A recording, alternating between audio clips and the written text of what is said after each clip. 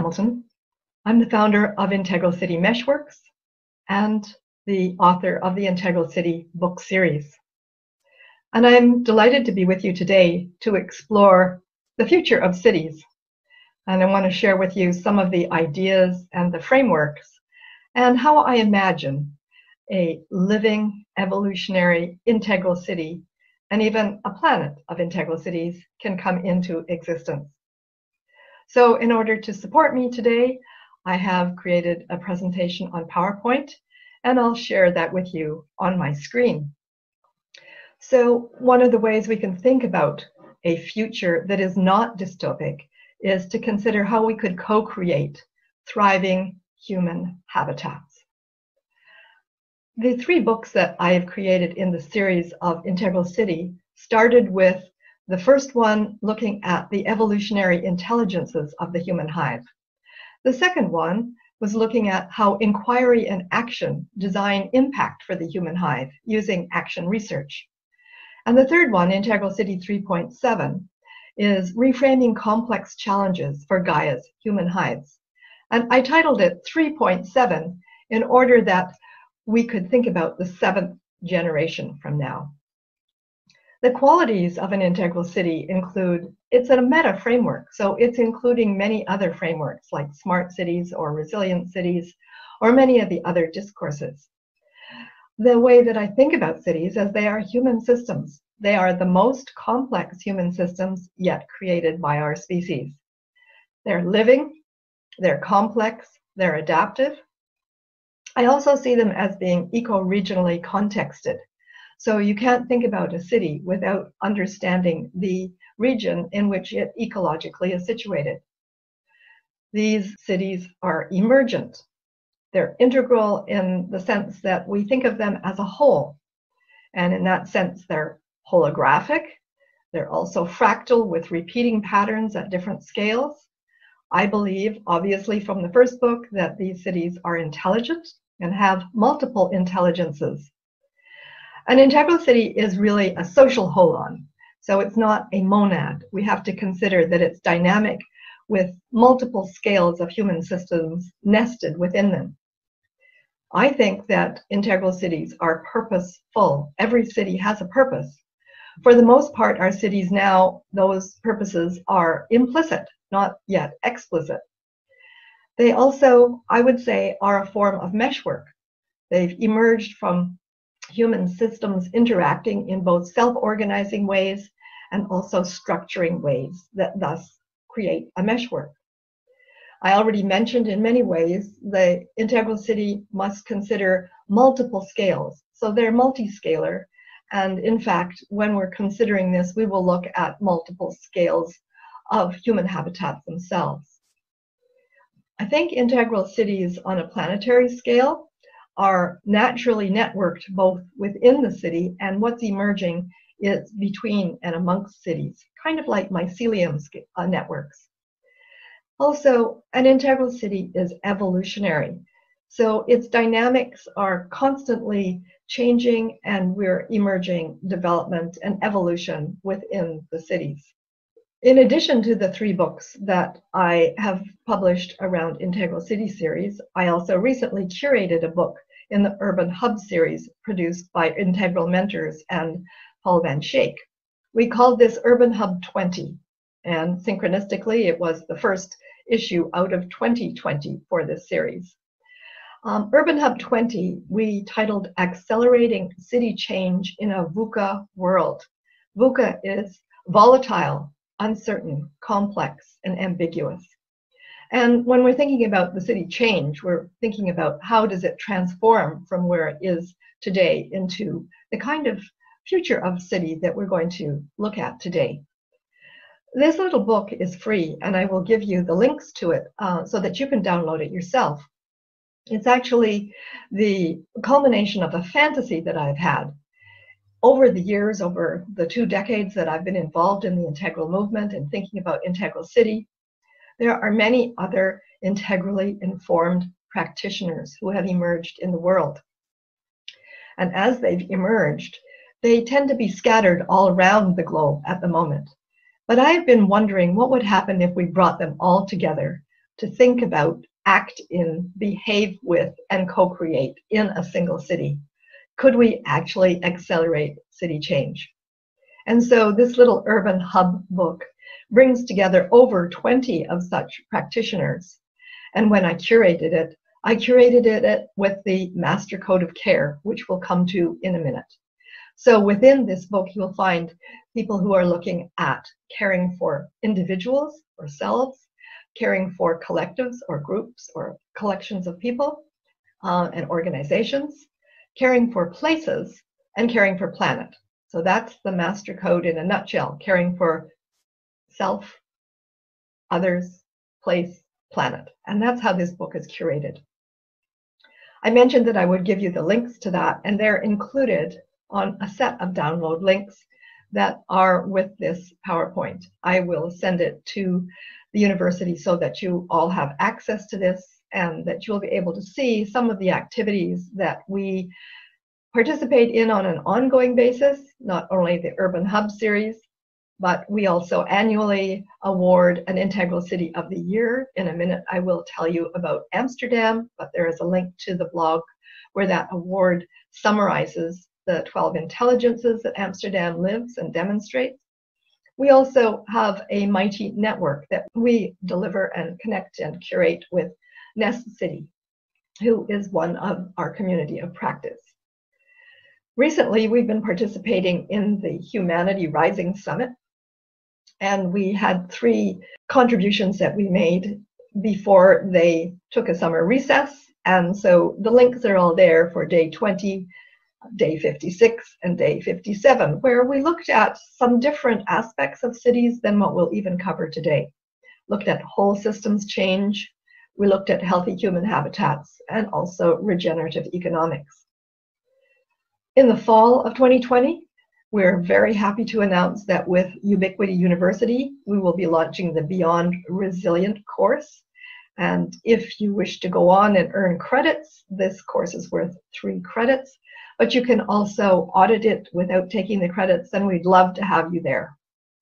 The link for that course is also on this page, as is the link to our basic course, Beyond Smart Online, and we will be delivering that again in November with the partnership of Findhorn College. The other links are to the website, which is extensive and has got the archives from, I would say, probably 20 years of work around Integral City, right up to current blogs and newsletters. We have a LinkedIn connection. We also have Facebook and Twitter. So we hope to see you on any of those connections. Now, before we launch into our discussion for today, it's always wonderful to have some questions about how we could co-create solutions for thriving human habitats. We want to ask how, how does Integral City explore solutions at multiple scales that can embrace eco-villages, cities, eco-regions, and the whole planet? We also wonder how can we explore to build connections and feedback loops within and across human habitats to create well-being at both a local and a planetary scale. So as I put this session together, those were some of the questions that were in the back of my mind, and I share them with you so that you can be thinking about them as I share the presentation. You know, I mentioned all of the people that I curated entries for in the Urban Hub book, Urban Hub 20, which incidentally is a graphic book. So it is not just a, a, narrative text as in my other books, but is a graphic book and quite fun and delightful to read because of that. Well, in addition to all of those uh, colleagues, uh, communities of practice, um, I've also been inspired over the years by people I would call field setters. These people have impacted, created the field in which Integral City can emerge.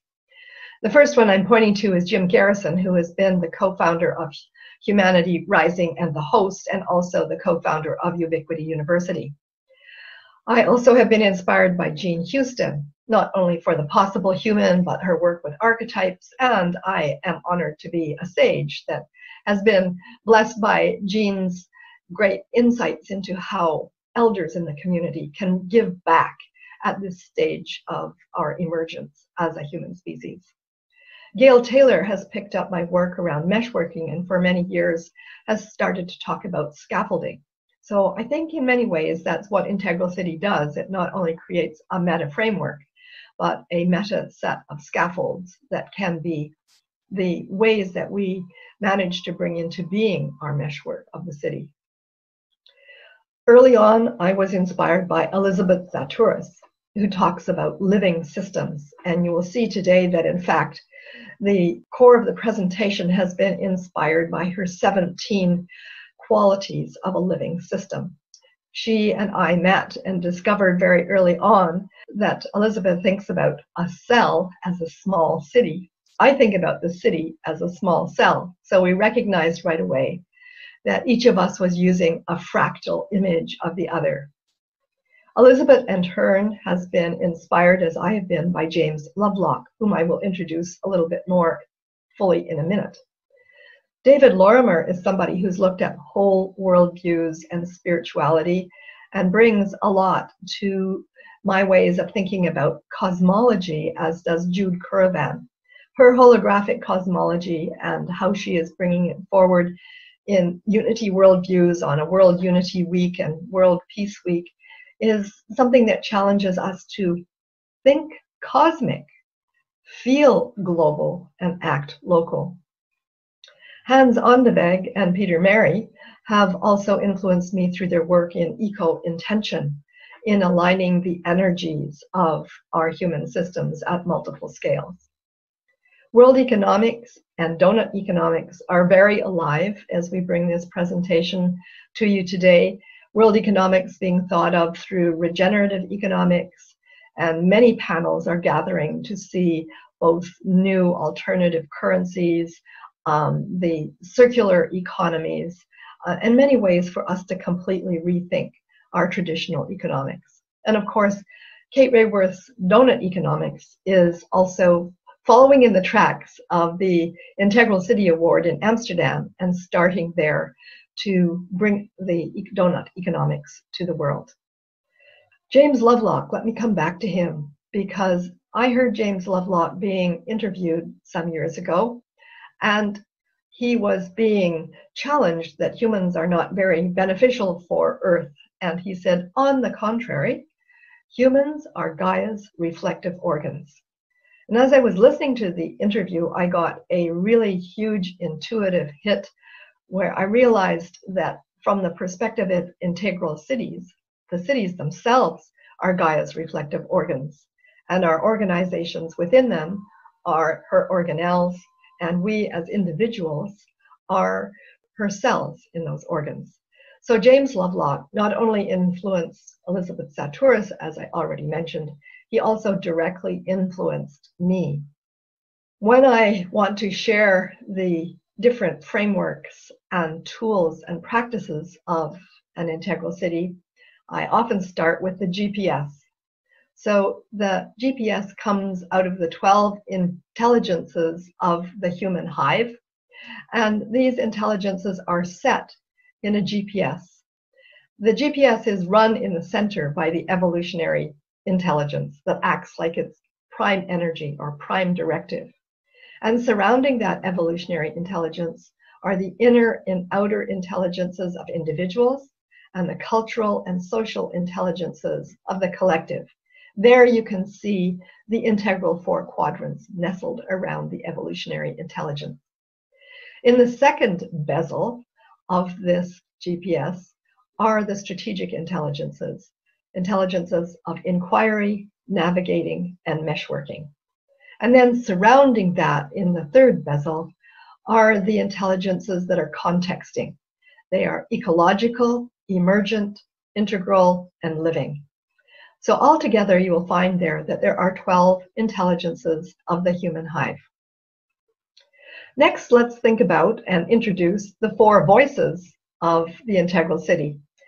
These four voices are the citizens, the civic managers, the business innovators, and civil society. And you'll see that they are actually aligned with the four quadrants of the integral model. And this is not accidental. So if we had time in another course, we would go more deeply into what are the qualities of each of those voices. But we will hear from them today in what I have to share with you.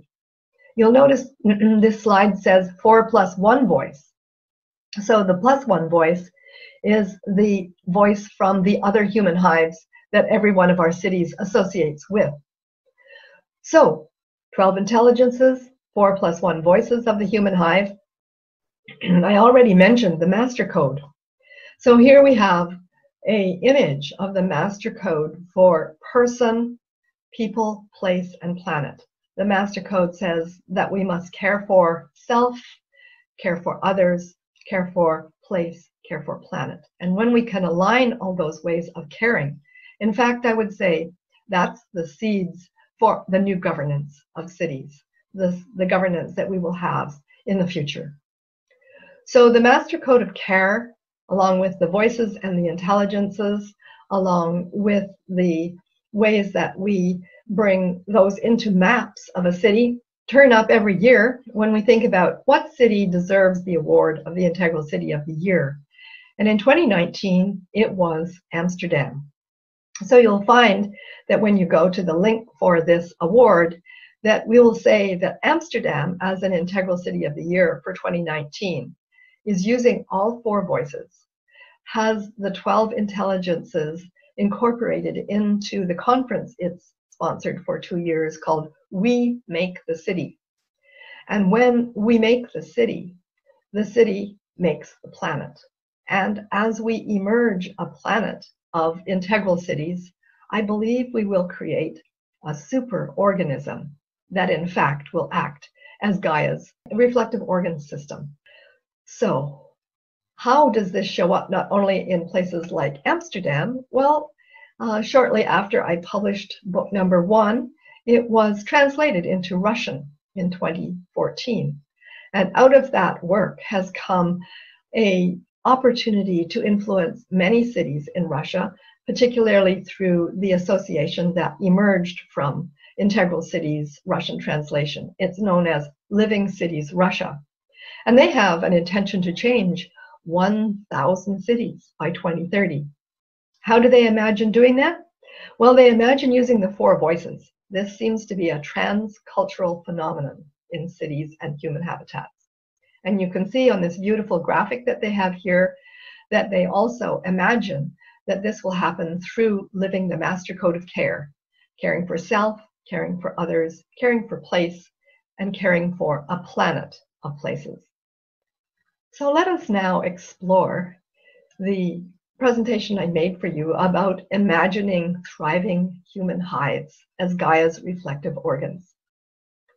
Since this is a rather somatic framing, an integral framing that brings in the body and also the heart mind, also the community and organizations, I thought that we would do this in a form of dance. The dance has three acts, but it has a couple of um, beginnings. One is an interlude, and the other is actually an intermission before we actually get into the three acts in this dance. After the dance, I will also show you how we can take this active imagination and start to actually implement it in an individual city. We'll imagine it's your city. So get comfortable in your chair and activate your organ of imagination. Let us start with the prelude. Here we imagine waking up the human hive. Imagine the city as a human hive, a living organ of Gaia who has a purpose that is in service to Gaia's well being and resilience and is embraced by its citizens. Imagine human hives who can resource their purpose with internal and external resources and funding. Imagine the human hive as a living innovation ecosystem where we enable the connections between the four voices of the city, citizens, civil society, city and institutional managers, business and innovators. So they not only thrive today, but create a legacy of life conditions for the next generations to evolve and thrive. Imagine human hives who know how to connect. They can map their existing connections, align people to purpose and priorities. They can amplify what works and let go of what doesn't, and continuously improve the value they contribute to Gaia. Imagine human hives who learn from each other and develop the whole system of human hives in an evolutionary direction. If we can imagine such a city, we can imagine creating and implementing plans for the global scale challenges of pandemic, climate adaptation, energy shifts, water management, food security, and cultural evolution. To do so, we can imagine how to release resources now trapped in city sectors, silos, and stovepipes. We can imagine the frameworks, tools, and processes that catalyze new conversations, build on the underlying values, and recalibrate the assets, capacities, and capitals into meshworks of economic, environmental, social, and cultural interests. We can imagine creating the model for community engagement, city development, business strategies, and communication technologies to evolve the intelligences in our cities into thriving human hives. So let us take a breath from that prelude and take a short intermission. Let's imagine Gaia's human hives. I've said that I like to imagine the city as a human hive. And I have done the research to identify the 12 intelligences that a city is as a complex adaptive living system and how it would manifest if it wishes to resiliently survive and evolve. 2020 marks a significant year where I think we will be backcasting from the forward projection of imagining the city as a human hive, as I lay out here. What we need to do to have happen in 2020 is to find the next steps as a human hive so we can emerge the city of the future. I think we need to commit first to the intelligence I call number one, the eco intelligence. And through that, we need to thread the master code of care for self, others, place, and planet, and see how that will change our individual behavior, relationships with others, respect for our ecology, and aligning our human ethos with the whole life on Mother Earth. I think we will look back on 2020 and witness how the global pandemic became a universal, non local experience that demanded our acknowledgement of our inextricable interconnectedness with one another and the Earth. We will both fear for and care for our families to a deep level of appreciation. We will translate what our children can expect for their legacy into changes in our own behaviors. We will translate our lessons of rapid response from COVID 19 to capacities that sanely respond to climate change and its impact on our shared ecology. In 2020, we will see the extensions of Black Lives Matters, Black Lives Matter, and Me Too movements from individual experience or blame of one race or gender to other races and genders. Those shifts will often be painful, but will catalyze our evolving into respect for all humans. We will continue the journey to understanding our fractal relationship to energy, which we massively shifted by lockdown and economic obstructions. Also to information, which has been IT super boosted because of physical distancing, and to matter in the forms of actions, systems, infrastructures, and their undeniable embeddedness in the intelligences of nature. Cosmic holograms will become the new math for our children. The blue planet will be the basis for new morals and relationship to all life, including ecocide and other terrors. Greta Thunberg demands that we listen to the science, while World Unity Mesh workers and HeartMath experts reveal the power of heart intelligence. Altogether, with activists for the plastic revolution and Extinction Rebellion or Revolution, these movements will ignite citizen voices in countries around the world, demanding that diversity generators take responsibility and resource allocators wake up to their real job of creating well-being. And the third sector, or civil society, will claim their voice of integration and demand that spirit be welcomed back as guiding force for life-enhancing decisions.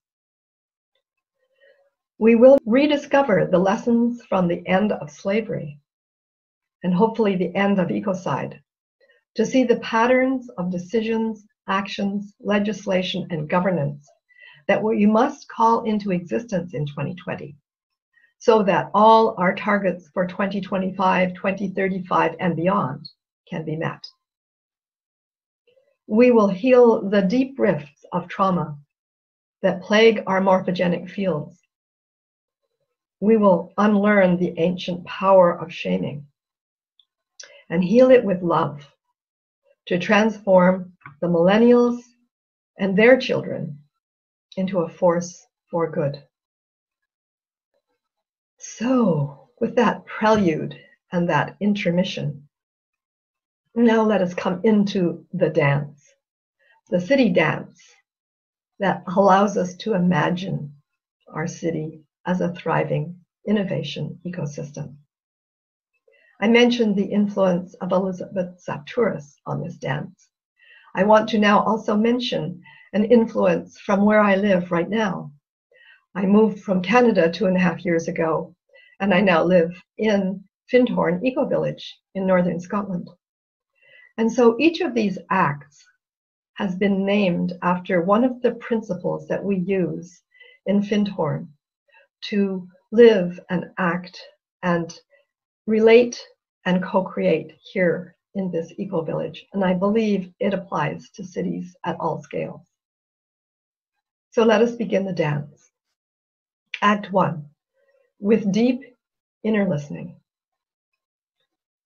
Imagine your city has a sense of its own spirit and discovers its purpose in service to the well-being of its ecoregion and the planet.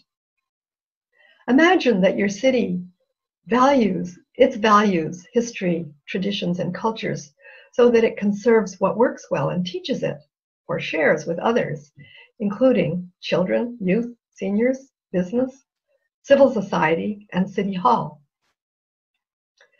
Imagine that your city was open to creative change so that it would replace what does not work well with what can work better and even inspire people to want more change. Imagine that your city discovers the wisdom and resources to create itself as a valued and a valuable city for its citizens, families, organizations, communities, neighborhood, sectors, state, country, and even the planet. Now let us pirouette to Act Two, where work is love in action. Imagine that your city appreciates the great diversity in the city.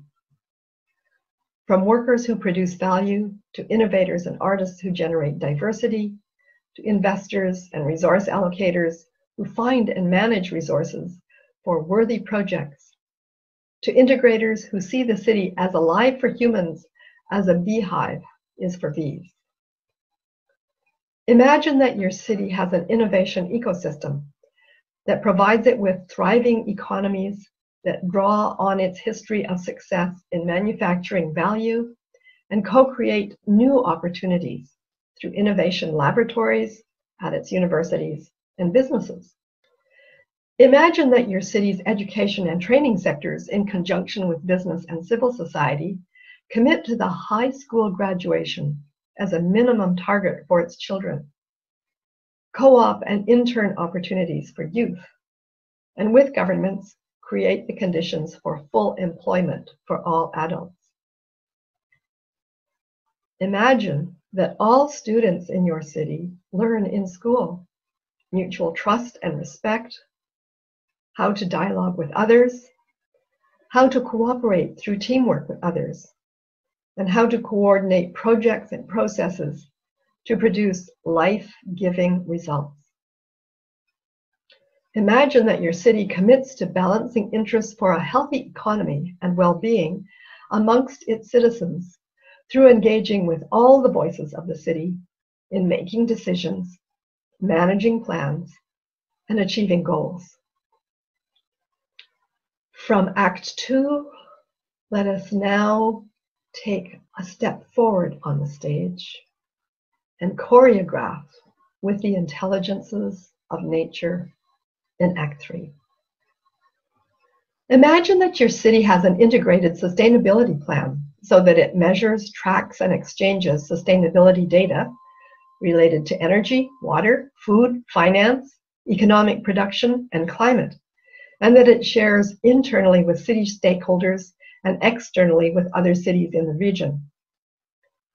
Imagine that your city understands how it adds value to the economy and environment and positions itself strategically in relation to other cities in the region, the ecoregion, your nation, and the planet. Imagine that your city has excellent information systems that inform the decisions of not only City Hall, but all businesses, citizens, civil society, institutions including healthcare, education, and the spiritual community, ecoregions, and all government levels, state, regional, and national. Imagine that the management of your city mesh works so well by integrating stakeholders that it is a model for other cities of its size in your ecoregion, your nation, your continent, and the world.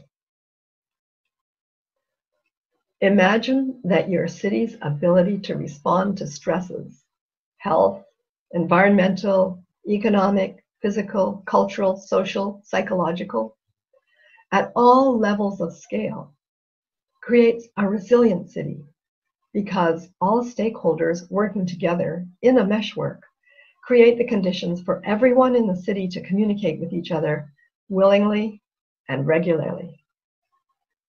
Imagine that your city is fully optically, energetically, IT wired so that all parts of the city could communicate internally and externally in a healthy way with the rest of the world. Imagine that your city practices transparent governance, accountability, and accessibility to information so that people feel safe to care, to share, and relate to each other, their places, and the planet in a fair way.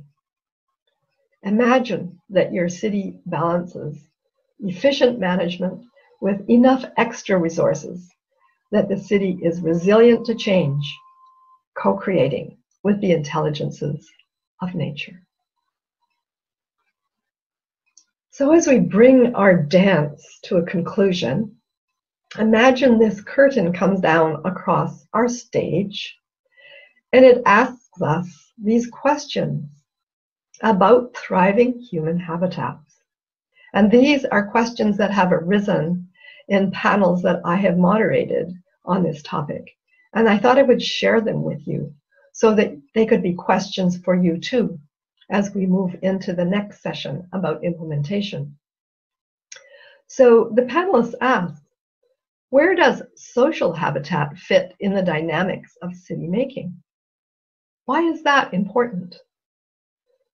Secondly, how are we engaging youth, in fact, multiple generations, to contribute to thriving human habitats? Question three, how do we humans, in fact, how does humanity find the right relation to the more than human world, to the elements, to the plants, to the animal world, to nature, the subtle realms, anything that we consider more than humanity. How do we relate to that? Question four. What is the role of impact measurement and feedback loops in human habitats and ecoregions? And how are they active right now? And the fifth question What have you learned about the art of cross cultural collaboration? And about the challenges of scaling solutions beyond one particular place or demographic in ways that are truly inclusive and sustainable? How can local solutions become globally effective in terms of healing transformation? So I believe the dynamics of generating thriving human habitats and an integral city involves asking more good questions than finding fixed answers. Nevertheless, I have been challenged once I have shared these qualities of an integral city by individual cities and communities to ask, well, how could we implement these? And so, what I have gone on to do with various clients is to take these 17 different steps and cluster them into a time frame that seems like it could be workable. Some of the locations have slightly varied the clusters, but nevertheless, let me share them now with you. So what we'll look at is how to implement integral city design in your city and the stages we would go through. In Findhorn, one of the things that we do when we're having any kind of a planning or a strategic or even a tactical meeting is to share a purpose statement. So, this purpose statement I thought I would share with you because it's such a beautiful, universal one that gathers together the three acts of our dance. So, just imagine that your city, as the heart of an ecoregion, an, an innovation ecosystem in that ecoregion reads out this statement at any meeting that they are gathered. We can imagine the human hive of our city co-creating a thriving and loving world where as a conscious community we strive to demonstrate a practical spirituality in harmony with nature and play our part to positively transform humanity and the earth we can imagine using three guiding principles deep inner listening, work as love in action, and co creating with the intelligence of nature. So, with that intention in mind, let's look at how these steps parse out into different stages. We start with the deep inner listening the months and the time frame that I have here is I imagined we started in the 11th month of any given year. So that started with 202W. And in the three months that follow, I imagine that what we will do is connect to our city. We'll put out invitations to the four voices to come and join us in formulating a plan to imagine our city. So this stage is very much involved in the deep inner listening to one another.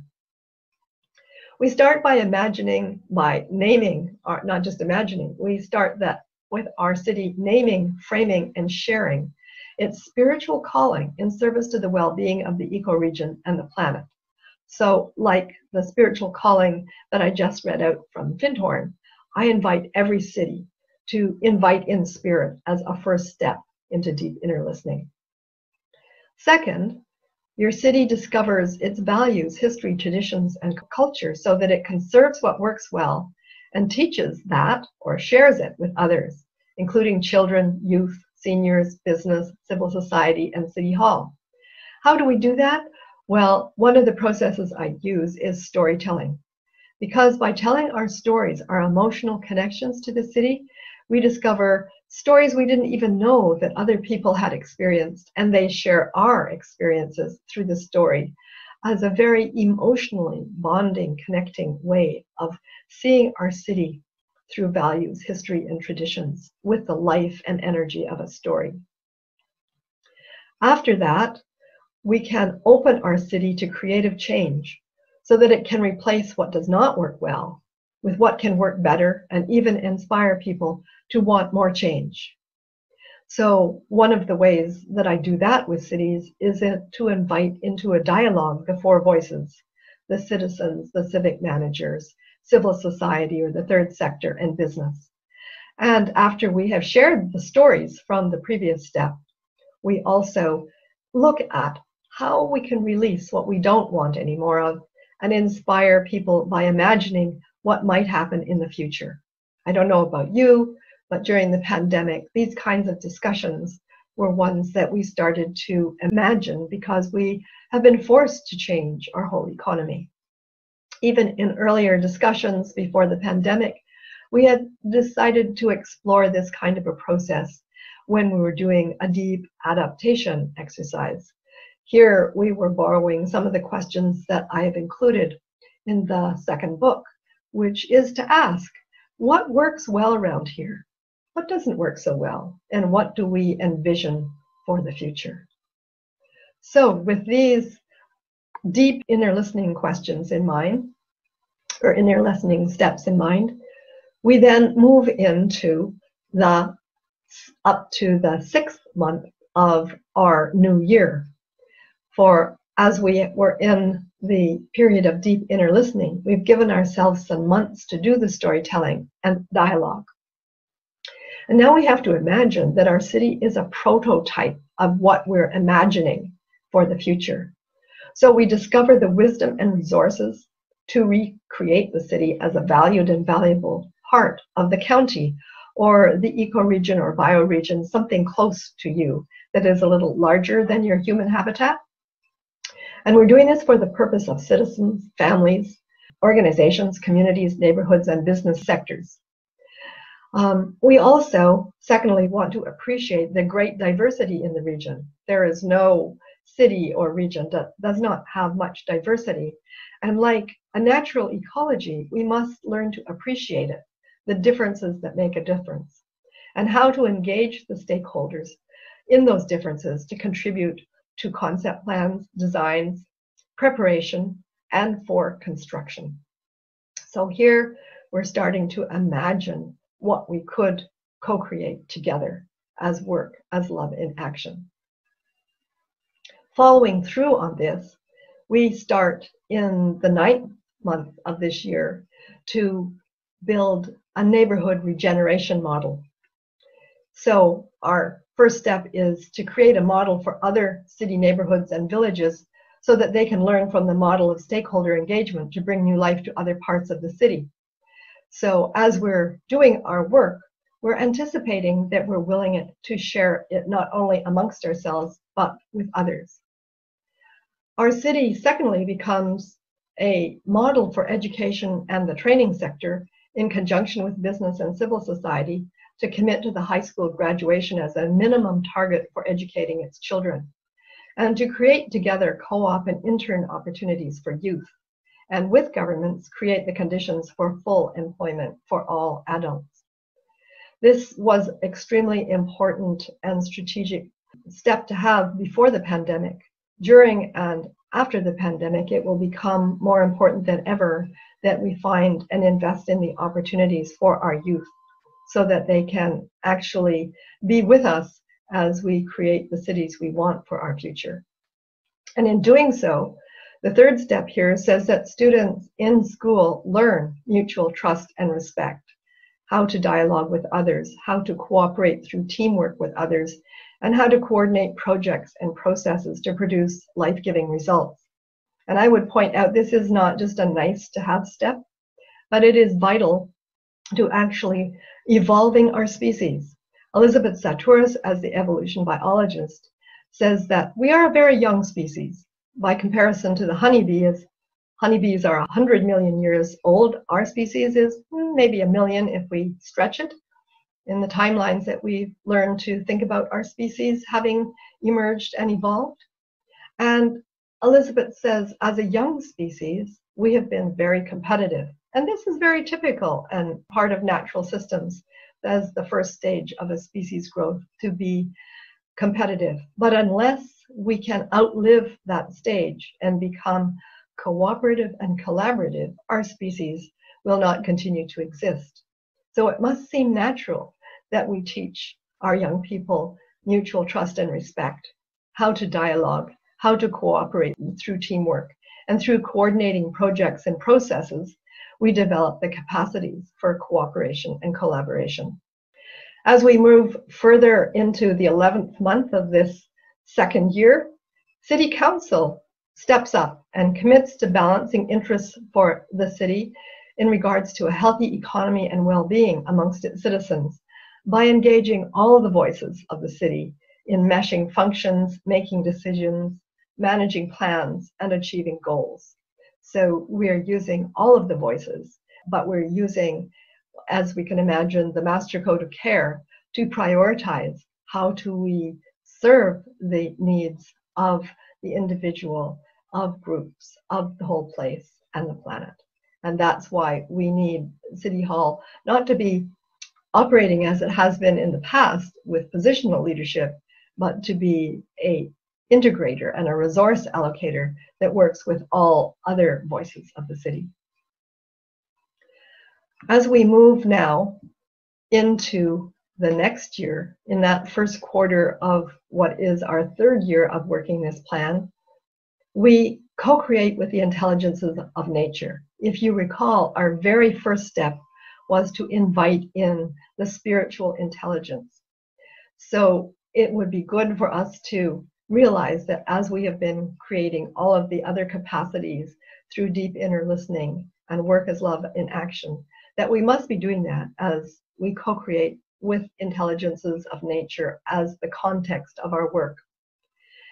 In this stage, our city is part of the council or city county's um, integrated sustainability plan that it shares internally with city stakeholders and externally with other urban centers in the region.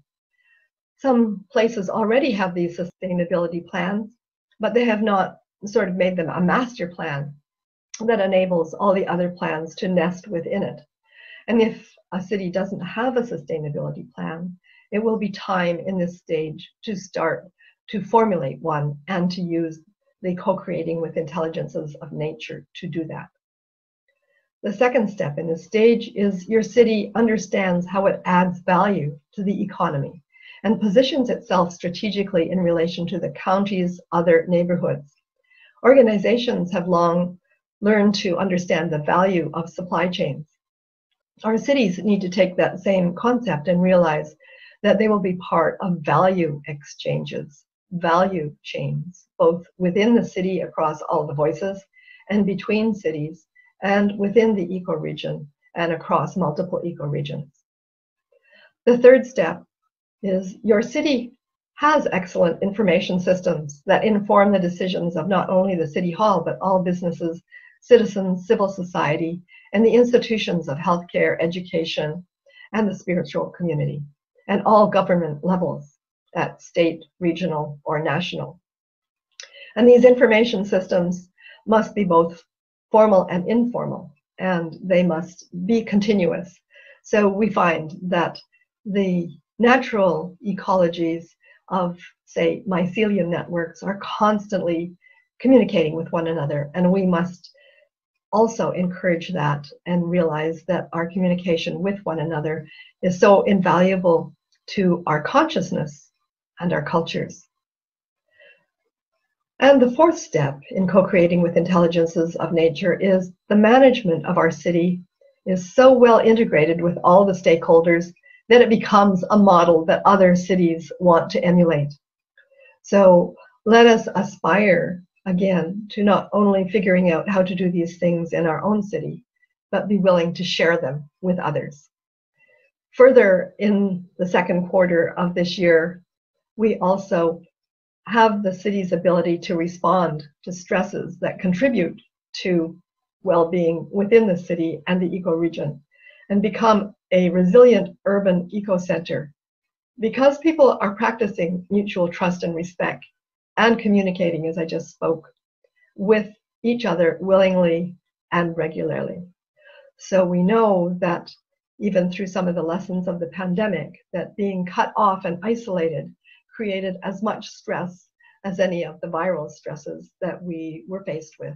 So actually anticipating and knowing that we can relieve stress by allowing for healthy communication with one another is part of creating a well and thriving human habitat.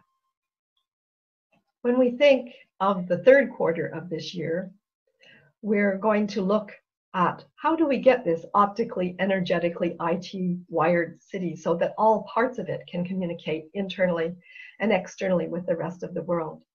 I want to say that I think this is possible, but it also must be tested in reality so that such wiring is as natural and good for the system as the mycelium wiring is in the natural system. And so probably we're going to have to use some of the biomimicry knowledge that I have borrowed greatly from to think about the integral city in order to create such natural and healthy wiring. In this quarter too, your city designs governance systems with practices for transparent governance, accountability, and accessibility to information so that people feel safe to share and care and relate to each other fairly. This is a big stretch, a really big challenge to imagine within the system and the process that I'm talking about because it isn't easy to create new governance systems. But we must start with a willingness to realize that it's possible. And I propose that the Master Code of Care is one of the ways that we create a scaffold to create new governance systems so that we care for self, for others, place, and planet. And we learn in our decisions through governance systems to align the Master Code of Care. And then the last point here your city demonstrates the balance between efficient management and enough extra resources so that your city is resilient to change.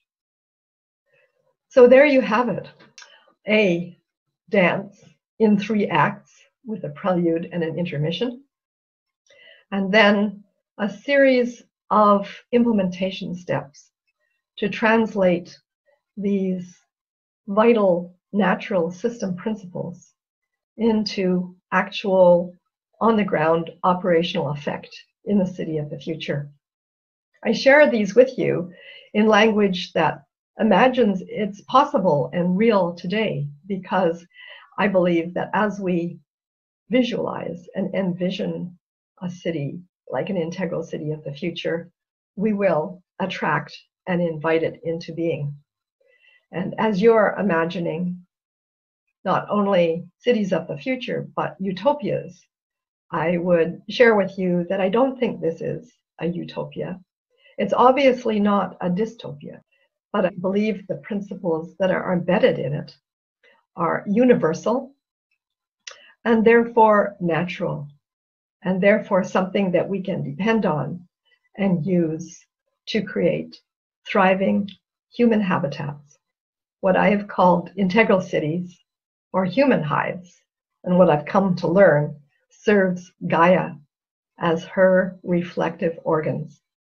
Let us create not only Gaia's reflective organs in individual cities, but let's work together in the future to create Gaia's reflective organ system.